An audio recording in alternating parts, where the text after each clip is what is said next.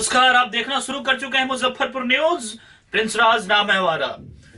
आज की प्रमुख खबरों पे एक नज़र।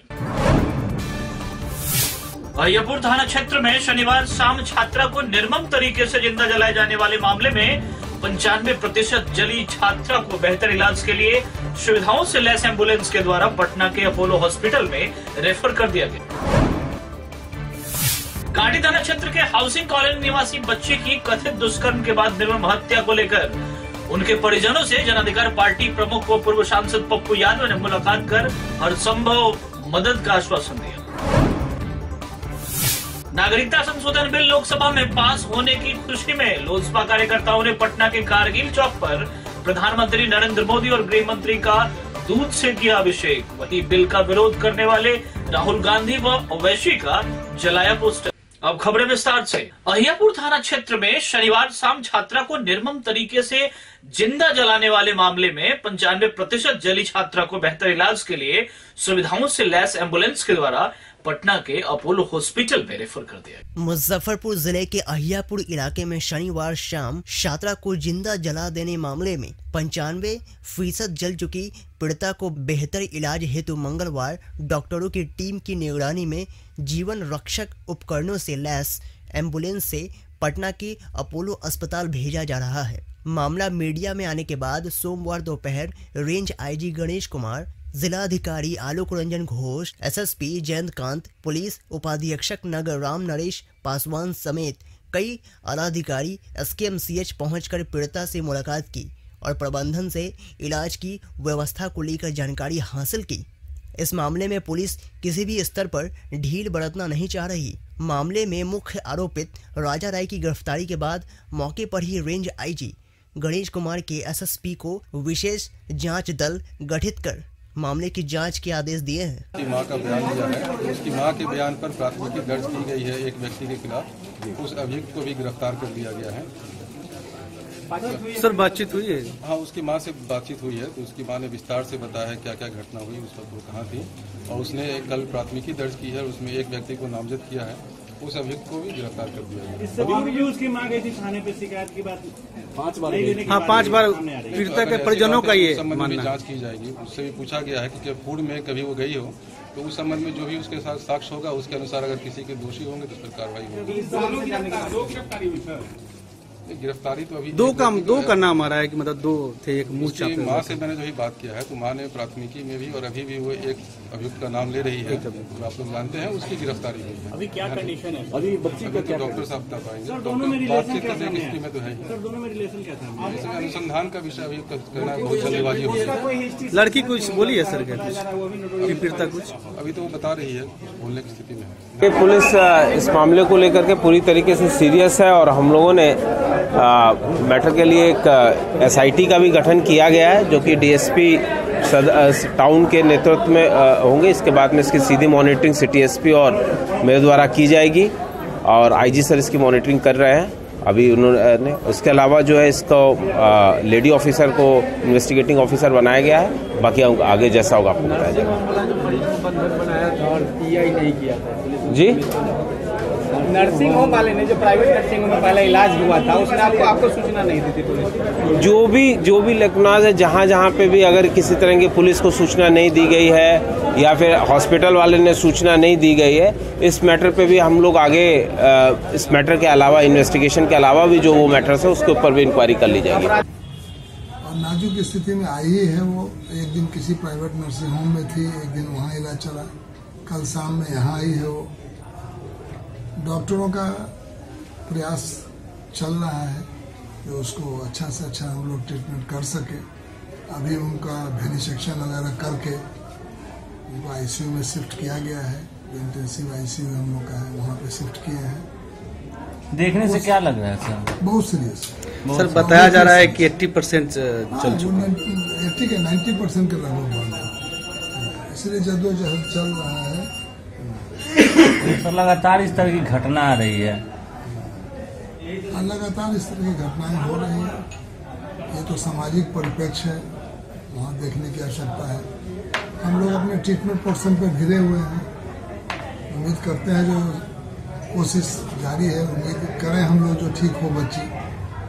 रेफर करने की भी बात नहीं आ रही। है थोड़ा स्टेबल हो जाएगा तो अच्छे संसाधन के जहाँ उपलब्ध है पीएमसीएच वगैरह में।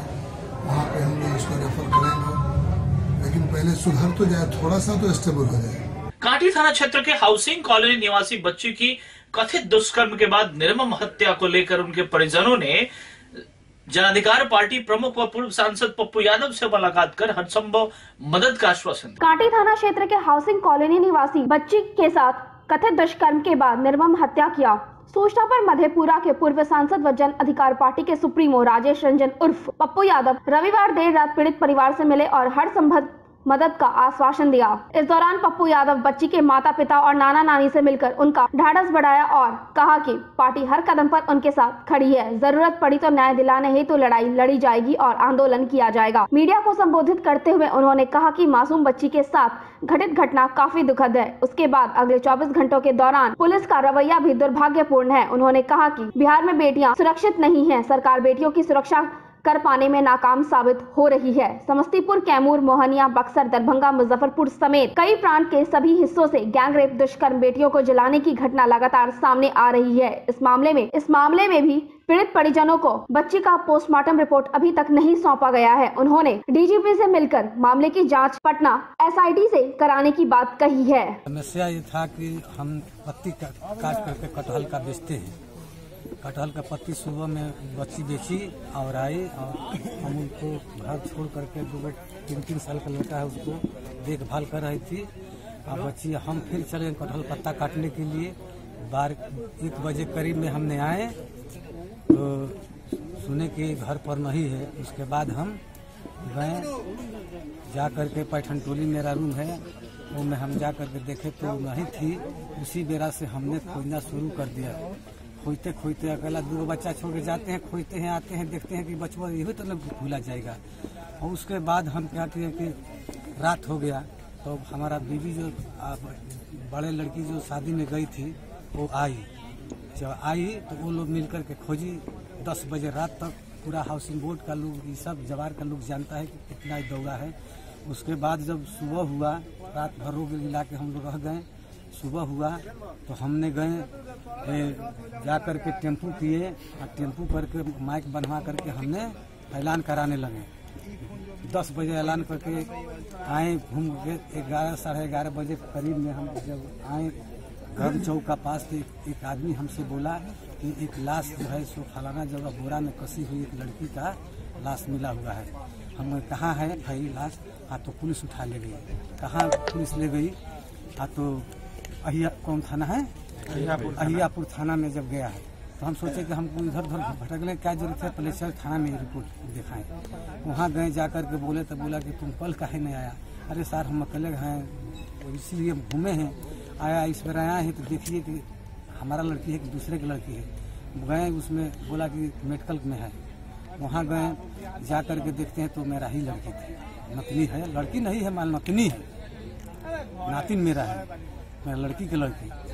अब जो है सो वहाँ हमसे कुछ पड़ताल किया पासबुक देने के लिए उसके बाद सब कुछ मीडिया वाला लोग अपना अच्छा आज पप्पू यादव जी यहाँ पे आए हैं क्या लगता है क्या न्याय की क्या उम्मीद है आपको? हाँ हम न्याय करेंगे। न्याय करेंगे, उनके न्याय चाहिए हमको। और एक हमारा मतलब से कि जैसे जी कि इसका दुष्कर्म हुआ है, आज हमारा ज़बरदस्ती बता रहा है लोग। चैम्बर में ले जा करके दरोगा बैठा करके बोला है कि तू जहर पिला के लड़की के मुआ दिया है और हाथ में बाँध के ले जा करके तुम रख दिया है। तुम अपने पर केस लो नहीं तो दूसरे के सामने तुम किसी को बताओ। हमने बोले कि नहीं देखे हैं, नहीं जानते। Pathan Damodarpur housing board Damodarpur housing board में जो घटना मासूम किरण खातून। किरण खातून नौ साल के बच्चे के साथ जो घटना घटित हुई यह घटना काफ़ी दुखद है। और उसके बाद जो प्रशासन का रवैया 24 घंटे से रहा। सबसे पहले तो प्रशासन को यह सोचना चाहिए कि एक बच्ची जो जिनके दोनों पैर, दोनों हाथ बांधे हुए हो, मुँह में रुई ठुसा हुआ हो, शरीर विभत्स हो, नोच खसोट हो, और उसके बाद उसकी हत्या कर दी जाती हो 24 घंटे तक इस हाउसिंग के सभी समाज के लोग खोजते रहे और बाद में जिस हालात में मिले हैं, उससे साफ़ ज़ाहिर होता है कि एक मासूम बच्चे की इस तरह की हत्या किसी परिस्थिति और कारण से की गई है। अब मुजफ्फरपुर, अब बच्ची इतनी असुरक्षित और मासूम बच्ची के साथ इस तरह का लगातार चाहे मुजफ्फरपुर हो, उन्नाव हो, चाहे आजमगढ़ हो, चाहे हैदराबाद हो, चाहे बिहार का कई घटना, समस्तीपुर, बक्सर, मोहनिया, दरभंगा, ये लगातार जिस तरीके से घटना घट रही है और नेतृत्व जिस तरीके से उदासीन है, सरकार गंभीर नहीं है, इसके लिए बड़ी लड़ाई की आवश्यकता है। पार्टी की ओर से इन्हें मदद हम लोगों ने की है। लेकिन कल हम सुबह मंत्री जी से मिलेंगे कि अविलंब पोस्टमार्टम रिपोर्ट परिजन को मिले और सही रिपोर्ट मिले। साथ साथ कल डीजीपी साहब से हम मिलकर के एसआईटी जाँच की मांग हम करेंगे कि आप इसकी इंक्वायरी एसआईटी पटना से करा दिया जाए ताकि हमारे बच्ची के मारने वाले या इतने बुरे, विभत्स तरीके से घटना करके मारने वाले जो जो भी जिस संख्या में लोग हैं, उसको कड़ी से कड़ी सजा दी जाए। इस पर हम ज़रूरत होगी तो लड़ाई भी लड़ेंगे, आंदोलन भी करेंगे। हमारे राष्ट्रीय कास्ट समिति के हमारे नेता परवेज जी हैं, हमारे अध्यक्ष यहाँ हैं, सभी लोग मौजूद हैं। और इस पर हम गंभीरता से नागरिकता संशोधन बिल लोकसभा में पास होने की खुशी में लोजपा कार्यकर्ताओं ने पटना के कारगिल चौक पर प्रधानमंत्री नरेंद्र मोदी व गृह मंत्री का सांकेतिक तौर पर दूध से अभिषेक किया।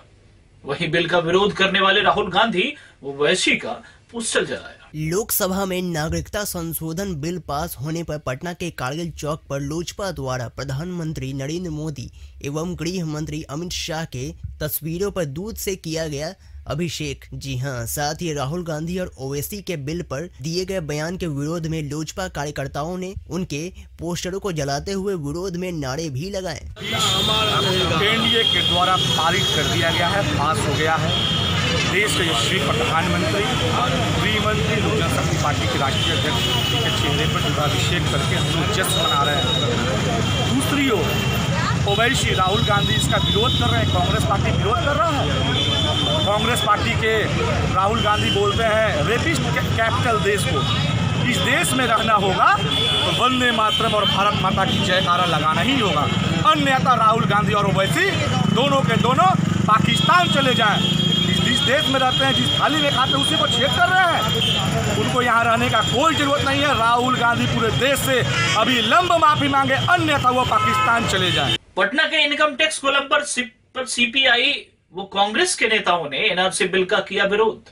सीपीआई के छात्र नेता कन्हैया कुमार ने जलाई एनआरसी बिल की प्रतियाँ। सीबीआई के छात्र नेता कन्हैया कुमार राजधानी पटना के सड़कों पर एनआरसी बिल का विरोध किया और एनआरसी बिल की प्रतियाँ जलाई। कन्हैया कुमार के इस प्रदर्शन में बिहार के कांग्रेस नेता शकील अहमद भी साथ रहे। साथ साथ सीपीआई के कई नेता और कांग्रेस के कई नेता भी मौजूद रहे। इनकम टैक्स गोलम्बर पर कांग्रेस नेता और सीपीआई नेताओं ने मिलकर एनआरसी बिल का विरोध किया और उसकी प्रति को जलाया। ऐसे हो जाइए। कन्हैया जी। पर सड़कों पर उतरे हैं बिल को आपने जलाया है। आखिर क्या हैं इन बिल इस बिल को हमने इसलिए जलाया है क्योंकि यह बिल इस देश को हिंदू मुसलमान के नफरत में जलाना चाहता है। ये बिल जो है समाज को बांटने की एक कोशिश है और ये अपने आप में बहुत अजीब बात है। जब पूरा देश गांधी जी की डेढ़ सौवीं जयंती मना रहा है और गांधी कहते हैं कि ईश्वर अल्लाह तेरो नाम। उस ईश्वर और अल्लाह को बांटने की ये कोशिश है। मैं समझता हूँ कि सावरकर के मानने वाले लोगों ने आज जिन्ना के सपने को पूरा किया है। जब देश का विभाजन हो रहा था तो जिन्ना ने कहा था कि जो मुसलमान इस देश में रुक रहे हैं, उनको एक दिन पछताना पड़ेगा। और आज ये जो सावरकर के चेले हैं, ये जिन्ना के सपने को पूरा कर रहे हैं। इसीलिए हम जो राम प्रसाद बिस्मिल, चंद्रशेखर आज़ाद, भगत सिंह और अशफाकुल्ला खान को मानने वाले लोग हैं, उनकी ये समझदारी है कि यह सांप्रदायिक बिल इसलिए लाया जा रहा है ताकि देश की जनता को उनके बुनियादी सवालों से गुमराह किया जा सके।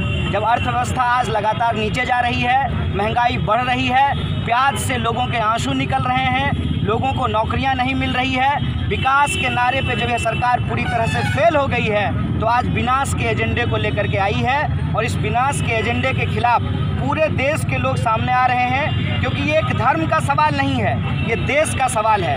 और हमारा देश इस इस देश के भीतर किसी भी इंसान को पहचान के आधार पर उसके साथ कोई भेदभाव हो इसकी इजाज़त नहीं देता है। हमारे देश में नागरिकता धर्म के आधार पर नहीं दी, दी जाती है। हम अलग अलग धर्म के मानने वाले ज़रूर हैं लेकिन हमारी पहचान भारतीय होने की पहचान है।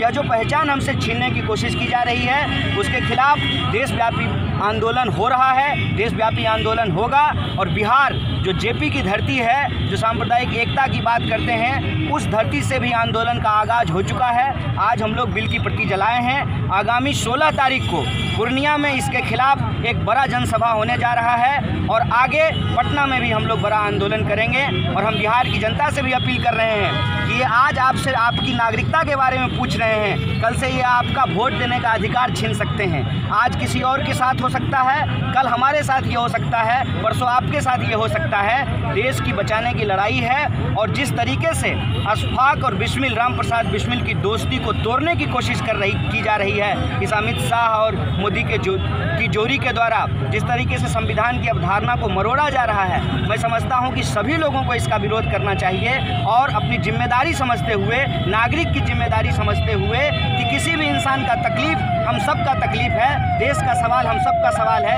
इसलिए हम लोगों को एकजुट होना चाहिए। पूरे देश में विरोध जारी है। नॉर्थ ईस्ट के सातों स्टेट में तो बंदी कायम हो चुकी है। पूरे देश में इस बिल के खिलाफ जो कल विधायक पास किया है और ये असंवैधानिक है इसको कोर्ट में भी चैलेंज करेंगे और सबसे बड़ी अदालत जो जनता की अदालत होती है आप अपने संख्या बल पर चाहे जो कुछ भी करवा लें और जितना कुछ भी आज तक करवाया इस गवर्नमेंट ने वो सब जनता के विरोध में गया उनकी तकलीफ़ों का बाइस बना है। ये भी जो लाने जा रहे हैं, जिसको राज्यसभा में ये लेके जाएँगे, वो भी जनता की और हिंदुस्तानियों की तकलीफ़ों का बाइस बनेगा। ये संविधान के स्प्रिट के खिलाफ है। इसलिए हम लोग जनता के बीच में जाकर के हर जगह इसका प्रतिकार करेंगे, संघर्ष करेंगे और पूरी उम्मीद है कि देश की जनता इसको इसको वापस, इसको जहाँ जाना चाहिए था वहीं भेजेगी।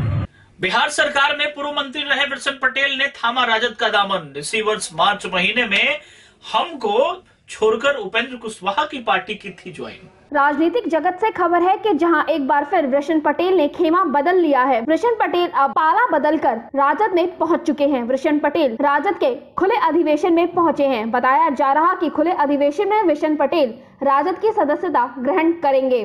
वृषण पटेल राजद को खुला अधिवेशन में मंच पर विराजमान नज़र आ रहे हैं। मंच पर उनके साथ राजद के तमाम दिग्गज नेता नज़र आ रहे हैं। बता दें, इस वर्ष मार्च महीने में जीतन राम मांझी की हिंदुस्तानी आवाम मोर्चा छोड़ उपेंद्र कुशवाहा की रालो सपा का दामन थामा था। इससे पहले वृषण पटेल जदयू में रहते, बिहार सरकार में मंत्री भी रहे थे। पटना स्थित राजद कार्यालय में राष्ट्रीय परिषद की बैठक की गई, जिसमें राजद के तमाम बड़े चेहरे शामिल हुए।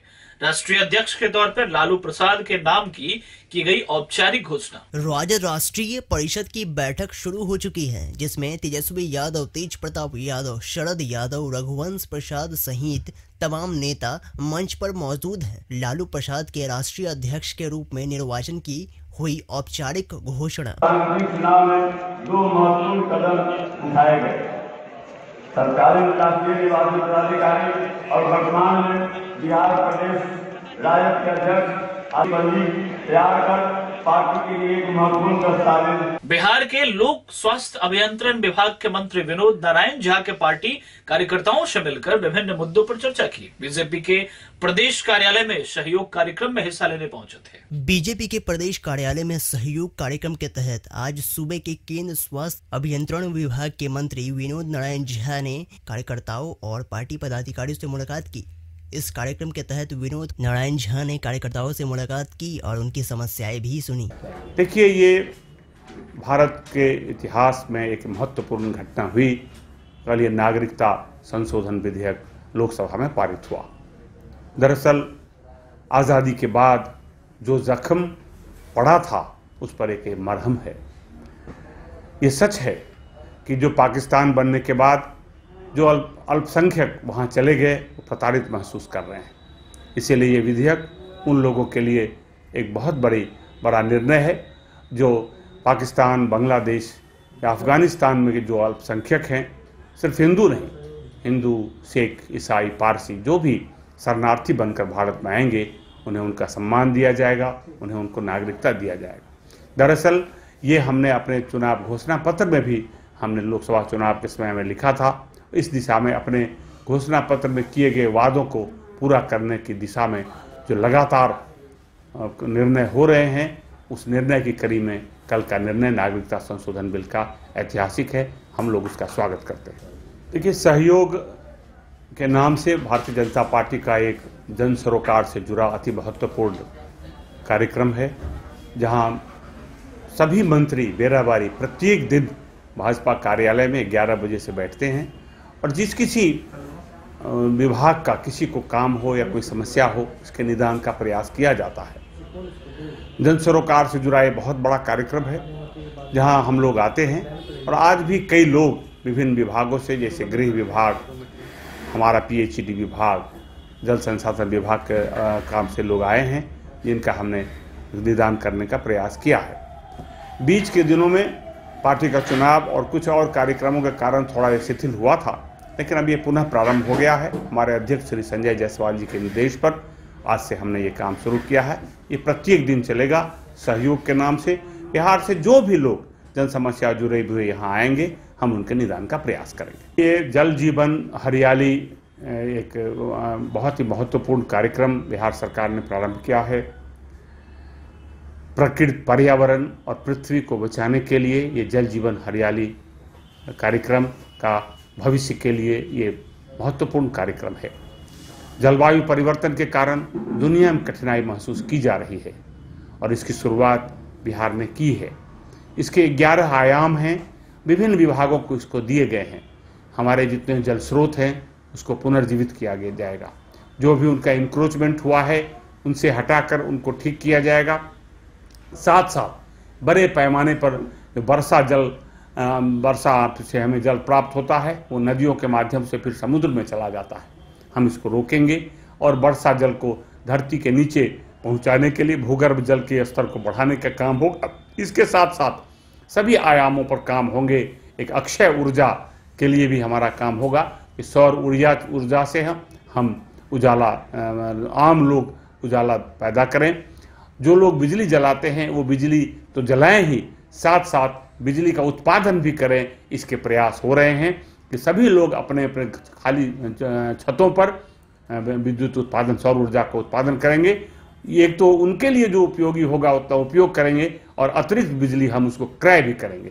तो एक जल जीवन हरियाली एक बहुत ही महत्वाकांक्षी कार्य, कार्यक्रम है, जिसमें चौबीस हज़ार पाँच सौ करोड़ रुपए खर्च करने की योजना है और इसके दूरगामी असर होंगे और भारत सहित दुनिया के लिए एक बड़ा अनुकरणीय प्रयास होगा। सुपौल के सदर अस्पताल के 18 पैक्स के लिए हुए मतदान की मतगणना शुरू हो चुकी है। इस दौरान सुरक्षा के बेहतर इंतज़ाम किए गए हैं। सदर प्रखंड के 12 पैक्स के लिए कल हुए मतदान का आज मतगणना शुरू हो गया है। सदर बाज़ार के विलियम्स स्कूल में मतगणना को लेकर प्रशासन द्वारा व्यापक इंतज़ाम किया गया है। अधिकारी के द्वारा विजयी उम्मीदवार को प्रमाण पत्र दिया जाएगा। फाइनल सीट आ जाएगा। आर का साइन हो जाएगा उस पर तो अनाउंस हो जाएगा। जी। कौन विजयी उम्मीदवार है इसका अनाउंस हो जाएगा। और तदनुसार हम लोग सर्टिफिकेट देंगे अनाउंस होगा। आज की खबरों में बस इतना ही। मुझे हमारी पूरी न्यूज़ टीम के साथ दीजिए इजाज़त। नमस्कार। इस न्यूज़ के सह प्रायोजक हैं जिया अभिनव प्रोडक्ट्स प्लैटिनम अगरबत्ती Baba Lahti Bhandar Islampur road Muzaffarpur Chandran I S academy making your career shine Haldiram Bhujiawala choice of India lady proud जियो ज़िंदगी बेहिचक उन दिनों में tension free north point children school we work hard for your success Rama hardware Jawaharlal road Muzaffarpur saint school national in spirit international in standards Vaishali institute of business and rural management institutional area Narayanpur Anant road Muzaffarpur VLCC Gola road Muzaffarpur हर घर की पसंद green India आपकी संतुष्टि, मेरी पहचान। Godrej appliances सोच के बनाया है। Biryani Darbar, Verma complex Mithanpura, Muzaffarpur, platinum children school, self belief, best belief, national medical college, Birgunj, Nepal. Latest खबरों के लिए देखते रहिए एम न्यूज़ जेड न्यूज़ और ताज़ा अपडेट पाने के लिए चैनल सब्सक्राइब करना ना भूलें।